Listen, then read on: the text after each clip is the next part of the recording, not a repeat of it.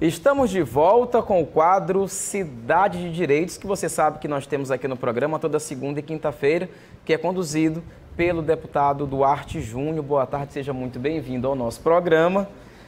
A gente viu no bloco passado, né, com relação a esse telespectador, a gente recebeu uma série de denúncias com relação ao cancelamento de crédito em transporte coletivo, né? Deputado, como é que se configura aí essa problemática? Como é que essas pessoas podem resolver né, esse impasse com relação ao crédito do transporte coletivo? Boa tarde, Jairo. Boa tarde a todos os consumidores e consumidoras. Recebemos muitas denúncias, muitas reclamações sobre esse fato também nas redes sociais. Por isso que quando a consumidora mandou a mensagem aqui, o Jairo estava lendo do lado é, é, é, atrás das câmeras, eu falei assim, peraí, Jairo, eu tenho uma resposta fundamentada para trazer sobre essas situações, porque nós investigamos. E a resposta é a seguinte: a Prefeitura de São Luís, em 2017, quando fez a licitação, uma das cláusulas lá da licitação, o que é a licitação?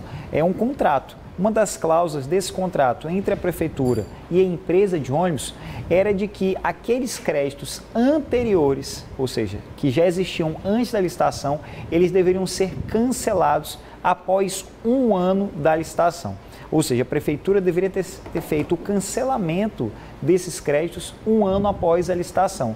Não fez 2017, não fez 2018, não fez 2019, não fez é, em janeiro de 2020 e está fazendo agora em fevereiro de 2020. Ou seja, já era para ter sido realizado antes. Ah, quanto ao procedimento, está dentro das regras da licitação, está dentro da lei. Existe uma lei municipal que regulamenta essa questão dos créditos para o transporte cada crédito desse tem um prazo de um ano, mas ah, o pecado nessa prática é que não foi informado o consumidor. Os consumidores não foram cientificados, os consumidores não foram alertados. E é um direito básico das relações de consumo, de acordo com o artigo 6 inciso 3, o consumidor ser informado de forma clara, precisa e inequívoca. E é por isso que, com razão, os consumidores estão questionando, seja no PROCON, seja junto ao Poder Judiciário.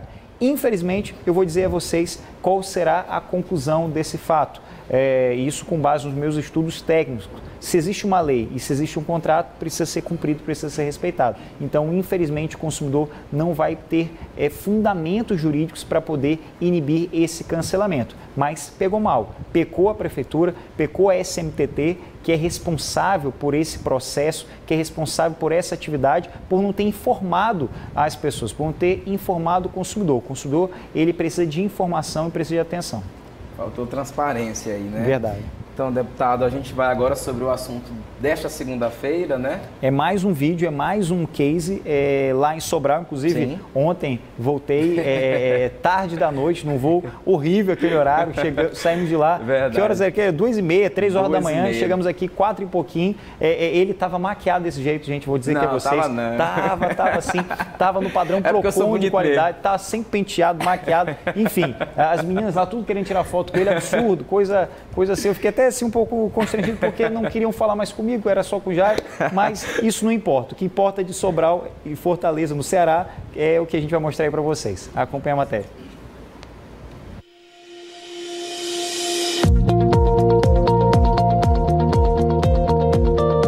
Bem, pessoal, já estou aqui no aeroporto de São Luís, aeroporto Marechal da Cunha Machado. Daqui a alguns instantes vou viajar para Sobral, conforme prometido.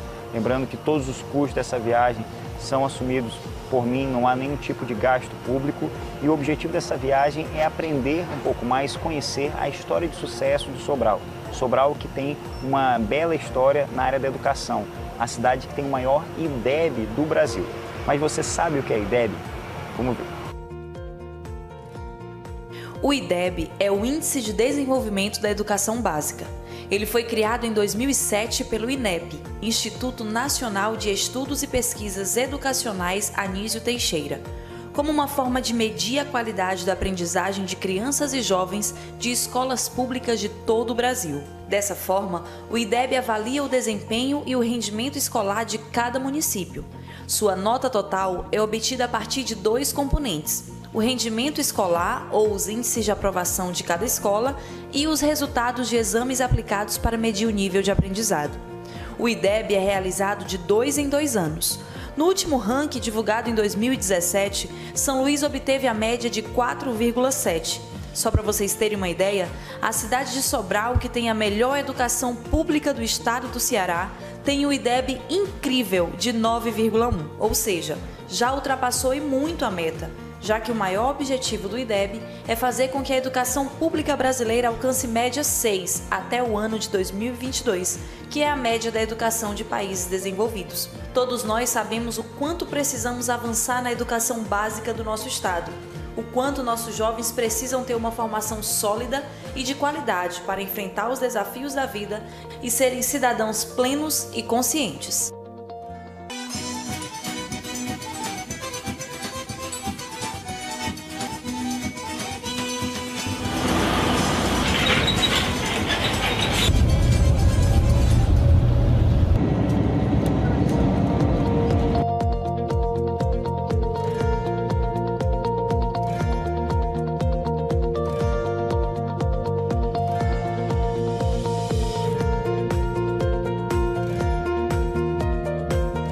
Pessoal, agora eu estou aqui com o secretário municipal de educação, o professor Herbert Lima, que é um dos responsáveis por todas essas conquistas. Professor, é, quais foram as medidas fundamentais? Porque esse resultado ele não veio de um trabalho de agora, é um processo longo e demorado. Quais foram as medidas fundamentais para que Sobral chegasse a esse resultado?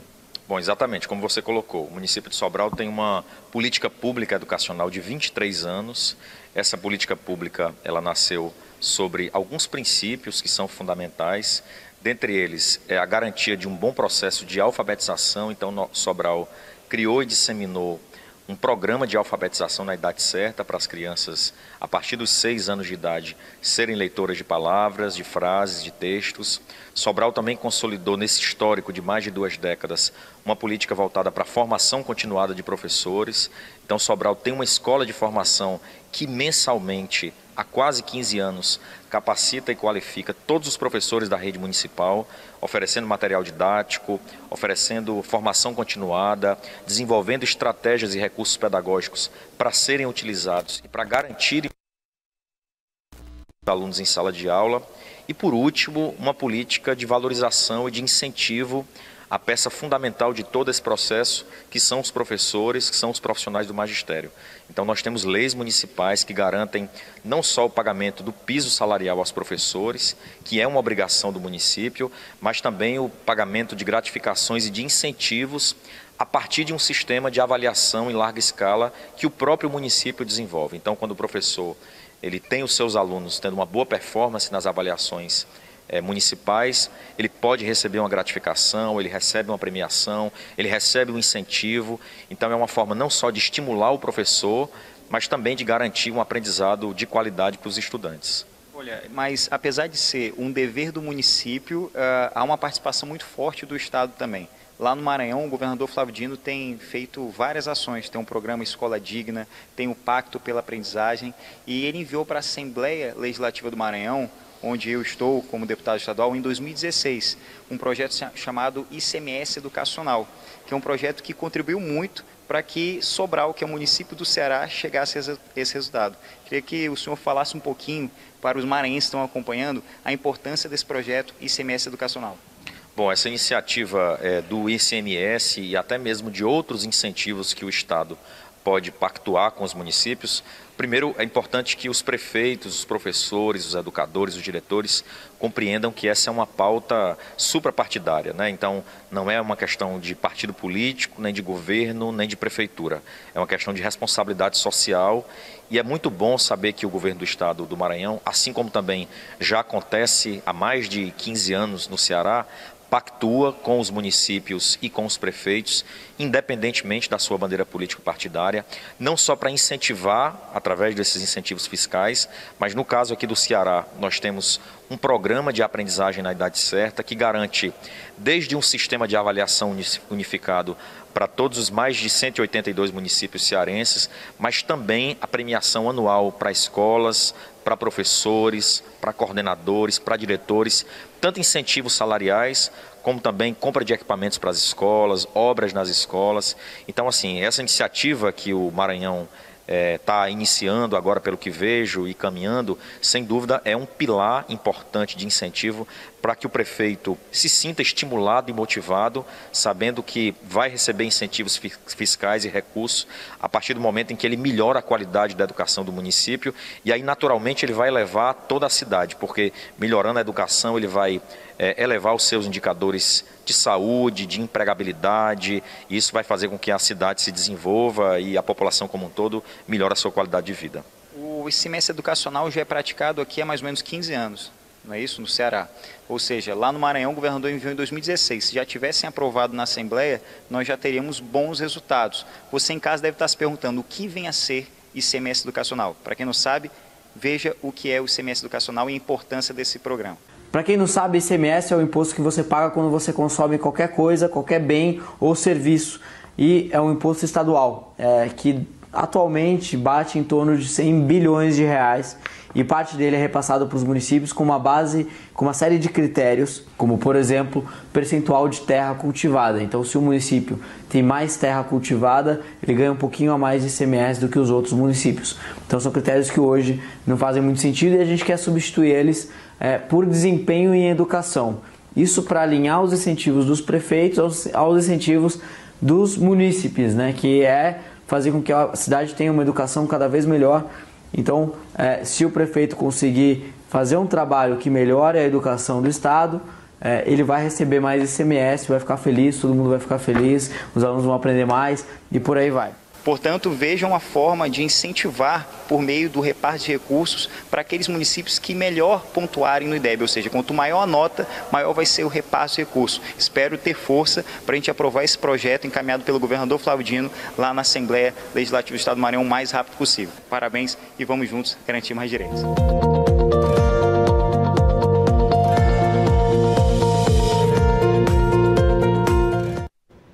Então, deputado, eu vi duas coisas muito importantes aí: o ICMS educacional e a questão da valorização dos professores né, nesse processo de alavancamento da educação no município de Sobral. Né? De que forma isso pode funcionar bem aqui também em São Luís? É muito importante, Jair, esse teu questionamento, porque não basta a gente viajar, não basta visitar uma outra cidade, uma outra experiência. Pouco importa se foi como eu fui pagando os meus gastos, é, financiando a minha viagem eu mesmo com os meus recursos, com o meu salário, ou gastando dinheiro público. O que importa para as pessoas é qual o resultado que vai trazer uma diferença para a vida delas. Não adianta conhecer uma boa experiência se a gente não consegue efetivar nada na prática. As pessoas querem ver a teoria sendo aplicada na prática e, muda, e mudando a vida delas. Eu tenho dois, dois casos aqui para vocês. Primeiro, após essa viagem, eu destinei uma emenda no valor de 300 mil reais para que a UEMA garanta bolsas, bolsas de estudo para professores da rede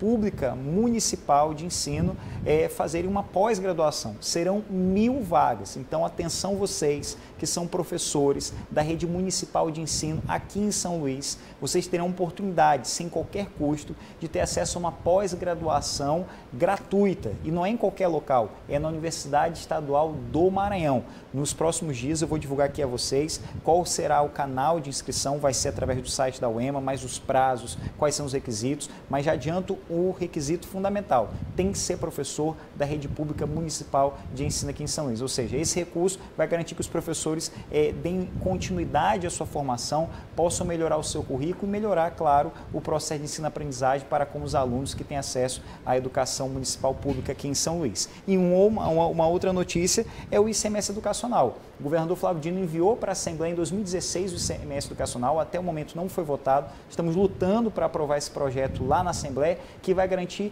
mais moralidade com recurso público. Não é enviar o dinheiro para o município sem critério, é enviar mais recurso, é enviar mais dinheiro para o município que melhor nota tirar no IDEB. Algo fundamental e vocês viram aí o que a IDEB a gente tem trabalhado para melhorar a educação, porque melhorar a educa educação é garantir mais oportunidades, é garantir mais direitos para todos.